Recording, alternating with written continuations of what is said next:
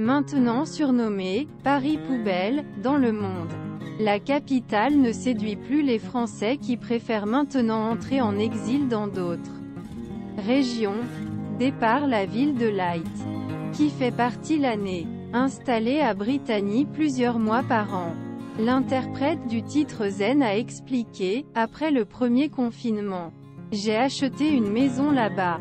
Je voulais la fin d'un point. Il y a un phare. La mer tout autour. Elle souffle. Elle change de couleur toutes les 5 secondes. C'est beau. J'ai pris mon piano là-bas et je l'ai installé avec une vue de la baie. Le problème est que dès que fait trois notes, je trouve ça génial. Mais quand les refait à Paris, c'est pas la même chose.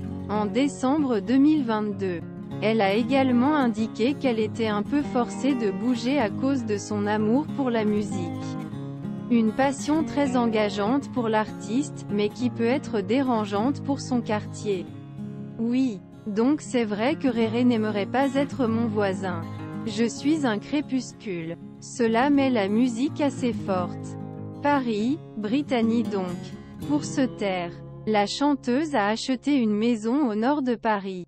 Un paradis de paix qui est devenu le pied-à-terre de l'entraîneur vocal lorsqu'elle passe par là. Capitale. Je suis dans le 20e. J'adore cet endroit. J'ai trouvé une petite maison pour avoir un peu moins les murs et les problèmes sonores. Un choix de vie également adopté par Amel Bent, qui a récemment déclaré qu'il avait quitté Paris. Dans le journal des femmes. Je suis une banlieue. Donc vivre au cœur de Paris n'est plus possible. Plus le temps passe et plus les étoiles s'éloignent de la capitale.